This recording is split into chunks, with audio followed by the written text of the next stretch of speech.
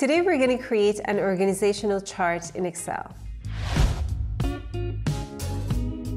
Forget smart art, forget shapes, they're not dynamic. Once your organizational data changes, let's admit they do change quite a lot. New people come in, people move. Your shapes don't change unless you manually move them around, and the smart art doesn't update unless you manually type the names in. Those times are gone.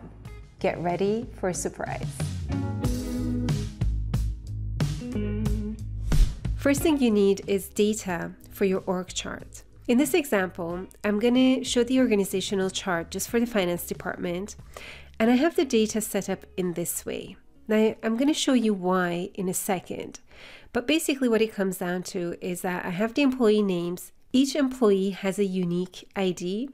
I have the title and the manager ID. This is the person the employee reports to. So this one that doesn't have a manager ID, it means that they're boss boss, boss of the whole department here. And then I have the type of employee, and you're going to see where this comes in in a second. That's the data I want to plot. I want to plot this in a dynamic way so that if someone shifts positions, it's going to get reflected in the chart. If I have new people added, they're going to get reflected in the org chart without me having to do a lot of manual updates. There's actually one manual thing I need to do, and that's to press the refresh button. So here's how you do it. Let me just go to an empty sheet. What you need to do is to insert a free add-in from Microsoft. So all you have to do is go to insert, click on get add-ins, type Visio in the search box. This add-in that we're going to use is a Visio add-in. But here's the best part. You don't need to have a Visio subscription to use the Visio add-in for Excel. All you need to have is Excel for Office 365. It's an official add-in from Microsoft. It's currently in preview, so expect this to be updated and improved on soon. Click on Add. You can see and read the license terms and then click on Continue. And then this is going to show up in your Excel file. It's called the data visualizer. And here you don't just have the org chart, but you can create a flow chart, a cross-functional flow chart, or an organizational chart. Next step is to select the type of chart that you want. In this example, I'm going to go with hybrid. If for some reason you click on this and it tells you you're not logged in, you can log in. If you're logged in under an account that doesn't have Office 365, make sure you sign out and you sign back in with the account that has Office 365. So next step was to pick the one that you want. Let's go with hybrid. The moment you do that, it's going to create a template table for you and it's going to visualize that template right here. So this data is connected to this template.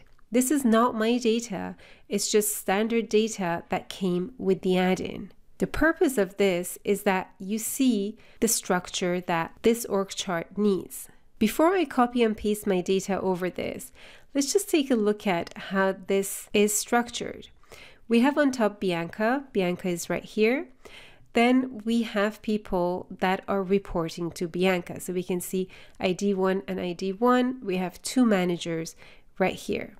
Now notice also that we have different colors here. So managers are reflected with this green. Staff has the color blue.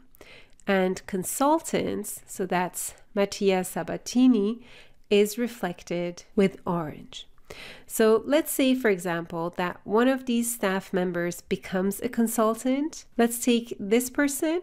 If I switch this to consultant, and I press refresh, this diagram gets updated. This is connected to this.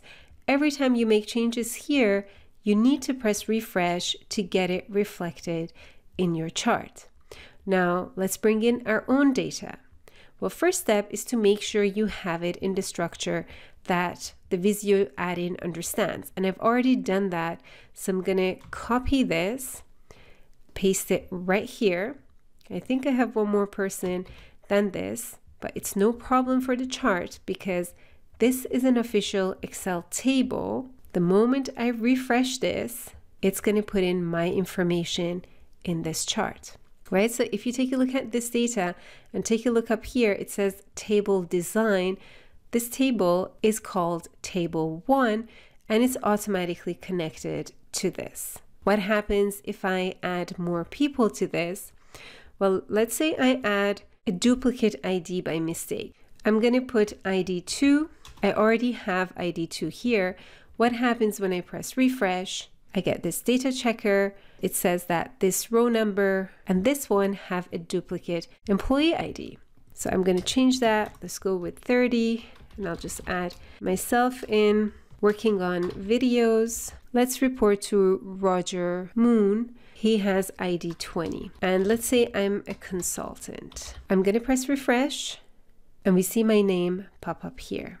If I happen to change division, so if I need to move to Daniela's division, all I have to do is change the ID that I'm reporting to. Daniela has ID 2 and press refresh and I'm right here, right? So you can zoom into this. You can make the chart area bigger so the zoomed in version would fit in properly, or you can click on this icon here to fit the diagram to your space.